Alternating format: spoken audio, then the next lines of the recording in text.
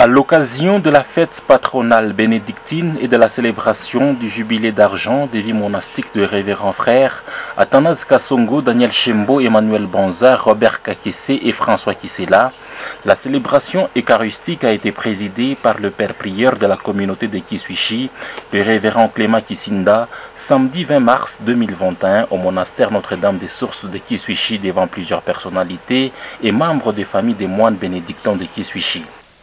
Ndugu wa Kristo, kama vile nilisema kumwanzo ya ibada ya leo ya kama kundi letu la Benedikto Mtakatifu la Maria mama wa Chemchem ina sherehe jibile ya wakaka tano wa monaji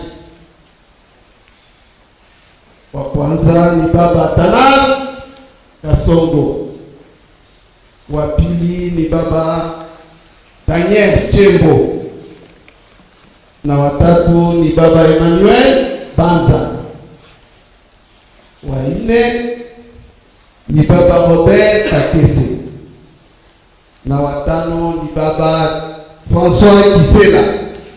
Na katika maandiko matakatifu Yesu na wafasi wake.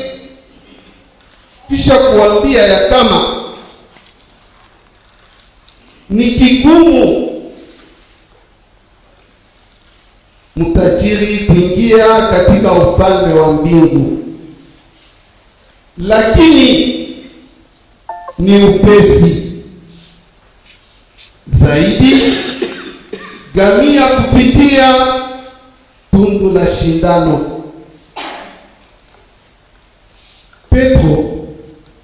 Mkubwa wa wafasi akamuuliza Yesu akisema, sisi tumeacha vyote na kukufuata wewe, tutapata nini basi? Na Yesu akamwambia mtakaa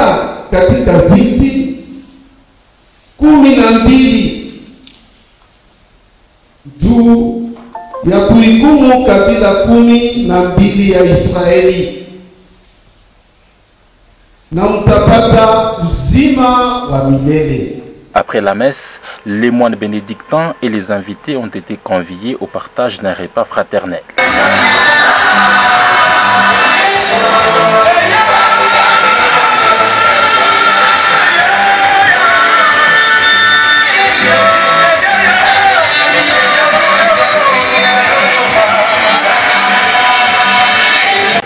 Les 25 ans, c'est les 25 ans quand même d'expérience. hein. L'expérience n'est pas seulement ce qui est positif. hein. Donc, c'est-à-dire que, comme tout jeune, on vous sentez appelé. Quand vous entrez dedans, ce n'est pas une vie qui se mêle sur des roulettes. Non. Euh, toute vie qui demande un certain sérieux demande toujours les efforts et les sacrifices. Euh, les 25 ans pour moi sont les 25 ans de sacrifices et de donations, puisque ici, quand nous venons, nous sommes de, des mises à part. Hein. On était bons garçons avec tout le monde, les, a- les- amis avec qui on a grandi ont choisi les mariages, et nous nous sommes dit non, non, on tout, tout quitter pour suivre Jésus et Jésus seul. Et quand on arrive ici, les gens pensent que c'est seulement s'enfermer dans la vie de prière et de psaumes. Non, ce n'est pas ça. Saint Benoît nous recommande deux alternatives qui, qui soutiennent vraiment l'équilibre d'une personne humaine. C'est ora et labora. On prie, bien sûr, mais on doit aussi travailler. C'est palpable parce que les jeunes que j'ai encadrés il y a bien d'années, les jeunes là, sont des médecins, il y a des enseignants par-ci par-là, alors je suis fort heureux pour ça. Ah, Je ne pense pas que j'ai perdu mon temps, je suis avec eux, je le vois.